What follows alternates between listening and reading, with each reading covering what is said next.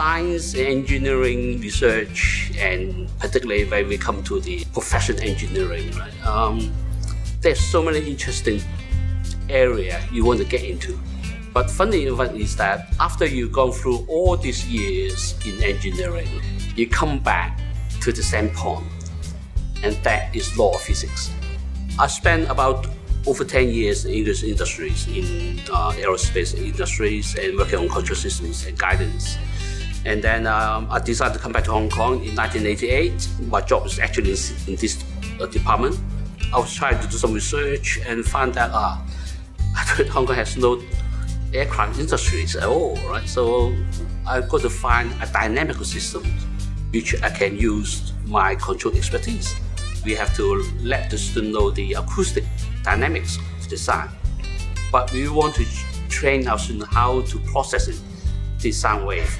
So this is very much of electronic engineering problems.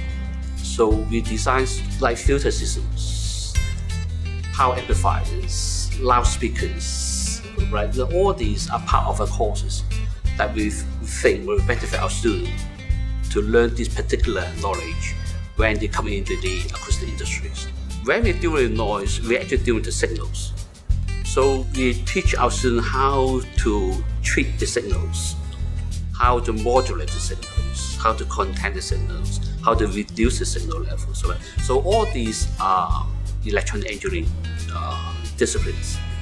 But if you talk about the actual source, then we do have to lead the student know how a speaker being designed, a particular loudspeakers, and we have um, a number of these projects, right, to pick up signal as well, pick up sound source signal as well. And yet we try to ask students to design their own type of loudspeaker that can generate the, the sound signal.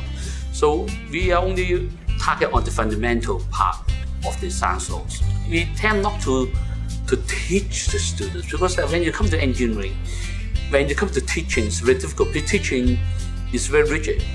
From my career, I've, I found that when you have a engineering problems, there is no unique solutions. There's so many solutions, and you just do not know which one is the best. That's why you're here to do research.